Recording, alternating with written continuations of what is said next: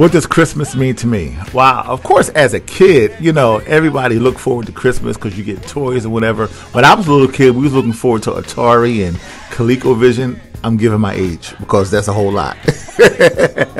but I tell you what, when my mother passed, because uh, both of my parents are now deceased, when my mother passed in 2012, she was the last parent to pass.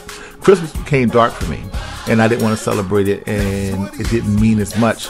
But you know, I'm grateful because you know God blessed me with five amazing children.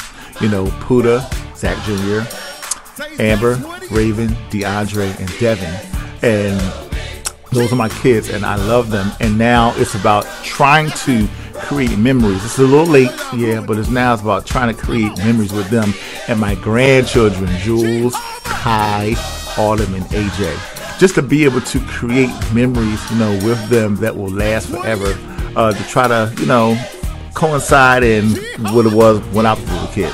So Christmas to me now, you know, it means family, it means celebrating, and of course, it means good eating.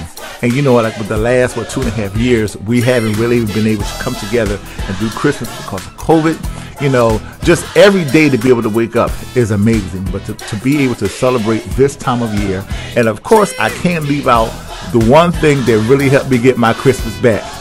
That daggone Hallmark channel. it's all about the kiss at the end.